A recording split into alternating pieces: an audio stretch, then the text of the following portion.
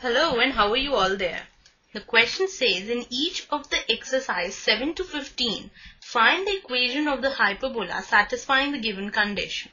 Now here we are given foci as 0, plus minus 13 and the conjugate axis is of length 24. Now let us proceed on with our solution. Now, the foci lies on the y-axis. Thus, we have the general equation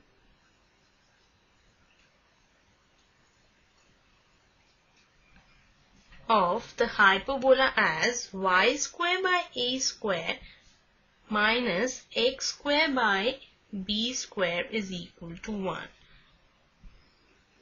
Now, this is because the foci lie on the y right? Now, we know that foci is equal to 0 comma plus minus c.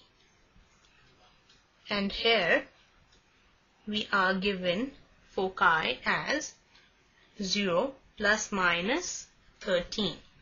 Thus, we have the value of c equal to 13.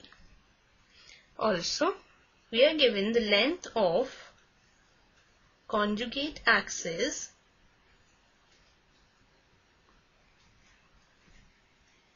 as 24 and we know that the conjugate axis is equal to 2b right? So we have the value of b as 12 also we know that b square is equal to c square minus a square. Now we know the value of b as 12 so it will be 12 the whole square is equal to c is 13 so 13 the whole square minus a square. That further implies 144 is equal to 169 minus a square. That is a square is equal to 25 right? Now, we know the value of A as well as B. So, the equation of